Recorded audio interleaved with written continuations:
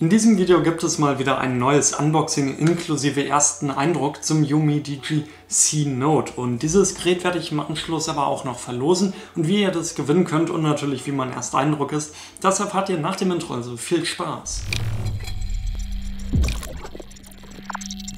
Als erstes muss ich sagen, dass mir die Verpackung schon mal ziemlich gut gefällt. Die ist so schön bunt und man sieht hier auf der Vorderseite das Gerät mit ein paar Specs abgebildet. Zum Beispiel, dass es hier ein Full Metal Unibody Gehäuse ist, dass man 3 GB RAM hat und 32 GB internen Speicher und zum Beispiel auch, dass es sich hierbei um ein Gerät mit einem 5,5 Zoll großen 1080p Display handelt.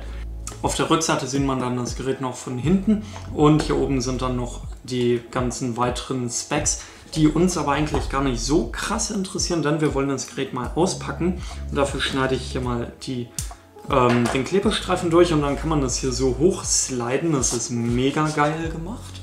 Und was dann aber auch richtig nice ist, dass man hier dann nicht das irgendwie so aufheben kann oder so, sondern man stellt das Gerät dann hin. Ich drehe es mal so zu euch, dass ihr das hier sehen könnt. Und dann kann ich das hier wegziehen und dann ist da schon das Gerät drin, welches wir jetzt auch erstmal rausnehmen, aber auch zur Seite packen, denn wir gucken uns erstmal den Lieferumfang an. Der ist natürlich auch immer ein wenig interessant.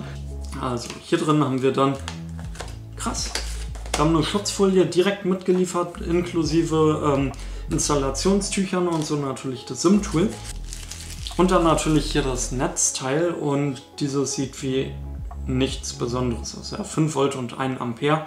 Also nichts krasses, aber was mir richtig gut gefällt, ist hier das Aufladekabel, denn es ist schwarz-rot und sieht einfach so vom Kontrast ja mega geil aus. Nicht ganz so nice ist wiederum, dass es hier ein Micro-USB-Stecker ist, denn das Gerät hat nur einen Micro-USB-Anschluss zum Aufladen. USB-Typ C wäre hier viel cooler gewesen, wäre auch nicht ein ähm, so großer Mehrkostenfaktor gewesen. Aber jetzt mal zum Gerät und hier fällt mir gleich auf, wir haben hier eine Hülle direkt drum. Das heißt, man bekommt nicht nur eine Schutzfolie, sondern auch noch eine Schutzhülle. Also man ist komplett ausgestattet und muss sich nichts mehr kaufen. Sehr geil und dann kann man das Gerät in der Hand halten und erstmal hier die Folie abmachen.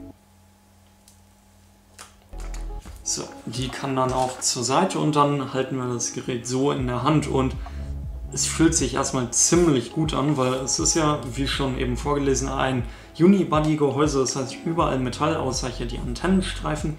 Doch der Rahmen ist aus Metall, die Knöpfe glaube ich auch.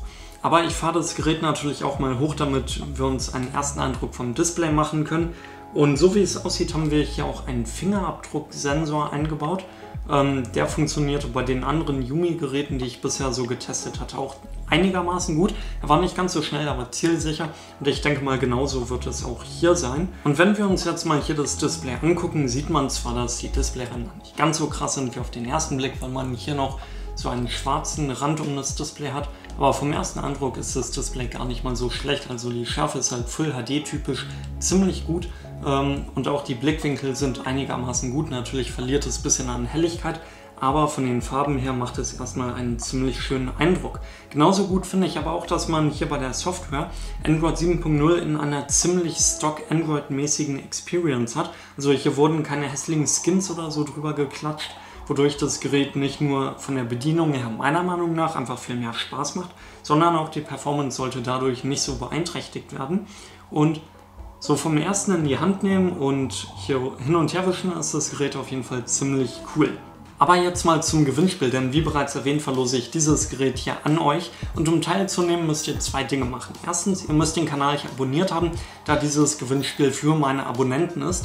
Und zweitens müsst ihr unten in den Kommentaren irgendwas Kreatives schreiben, wieso ihr unbedingt dieses Gerät haben wollt, was euch gut gefällt und so. Und dann nehmt ihr automatisch teil. Und das Gewinnspiel geht bis zum 18. Mai 2017 und den Gewinner werde ich dann mit einem Random-Generator auslosen. Das heißt, die Webseite sucht einen Kommentar aus und dieser Kommentar gewinnt eben und bekommt dann von mir dieses Gerät hier zugeschickt. Und ähm, den Gewinner werde ich natürlich auch direkt benachrichtigen per Direktnachricht und wenn er nicht antworten sollte, werde ich auch nochmal in den Kommentaren schreiben, dass er mal seine Nachrichten checken soll. Also dann ab dem 18. Mai könnt ihr ja mal gucken, ob ihr irgendwie eine Nachricht von mir bekommen habt. Ähm, und dann müsst ihr mir die Adresse zuschicken, damit ich euch das Gerät dann zuschicken kann. Also euch allen viel Glück und falls ihr eure Gewinnchancen noch ein bisschen erhöhen möchtet, dann schaut mal bei meinem Kollegen Marvin vorbei, denn der verlost auch genau dieses Gerät ähm, und hat dazu auch ein Video gemacht, welches ihr natürlich unten in der Videobeschreibung findet. Also wenn ihr da auch noch irgendwie die Chance ein bisschen erhöhen wollt, dann checkt das Video unbedingt mal aus. Aber das war's mit diesem Video. Ich hoffe, es hat euch gefallen und hoffe natürlich auch, dass ihr beim nächsten Video ebenfalls wieder vorbeischaut. Also bis dahin, ciao!